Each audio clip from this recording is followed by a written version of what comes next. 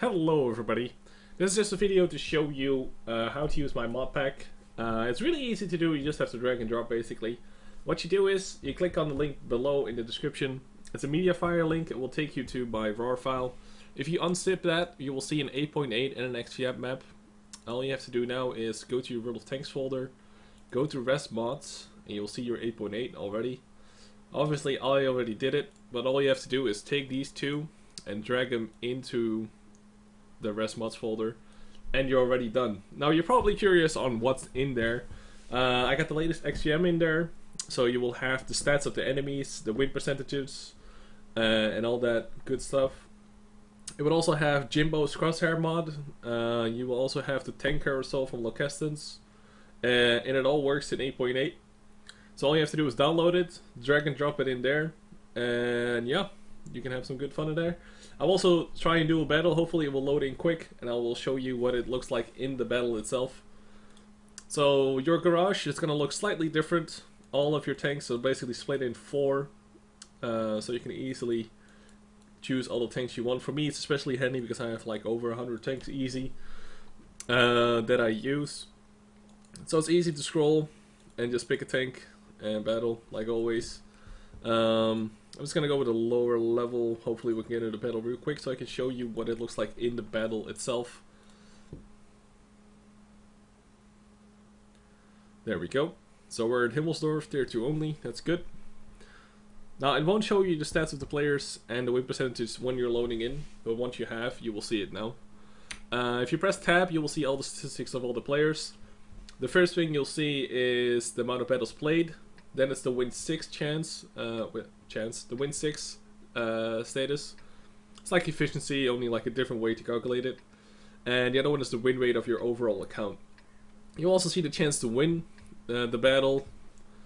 And yeah, um, as you may not know, if you press control, you can use the mouse. You can change this around as well if you wanted to, but that's already the case. You don't need a mod or anything for that. As you notice, when I press control, the minimap will pop up like this. You can still ping it like this. Just uh, pressing on those buttons like you usually would on a minimap. Um, you will notice that there's like four circles on your minimap right now. The smallest one is 50 meters. That's the auto detection range uh, that you will be spotted at. The second one is 350. The third one is 400 and the last one is 450. 450 is the maximum view range or spotting range you can have. You'll also notice, even though it's Himmelsdorf, so it's rather small, that there's a black, uh, not a black, a purple square. You can see it right here, the purple square. That's your render range. It's 500 meters. If there's anything out there of that render range, you will not be able to see the enemy, so you will not be able to shoot him. So if even if it's outside of your spotting range, so the last circle, but it's still spotted by the enemy, or by the friendly, sorry, you can still shoot it because it's in your render range. As you'll also notice that everything is in purple, and um, so it's purple is because I put it in uh, the colorblind mode, but also XVM overrides some stuff. So in my XVM config, I've made all the other stuff purple as well. As you'll notice, uh, if you hit somebody, it's in purple, not in red. Uh, the enemies are all in purple, your friendlies are in green, all that jazz. Also in your minimap, everything is purple. You'll also notice that there's like a, a pink uh, position. That's the last position of your enemy. Um, in the lower levels, you will also sometimes see the last position of your friendlies, or if you're on a big map. It's not that great, but especially the enemy last known positions are really nice. Um, the icons are also slightly smaller, I think, than usual. Uh, at least we we just we uh, decreased the size in those. So yeah, that's about it. If you shoot the enemy, as you'll see, it will be uh, the yellow coming out but the enemy itself is all purple, the um, silhouette is purple. So yeah, I'm gonna go ahead and finish this battle. I hope you guys have a good time playing with this uh, mod pack.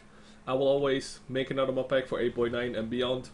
So I hope you guys enjoy it. If you do, don't forget to, uh, I don't know, like the video, subscribe to YouTube, and totally share it on Facebook. nah, but you know, have a good time. I'll see you guys on the battlefields, and I'm probably live streaming right now, so tune in.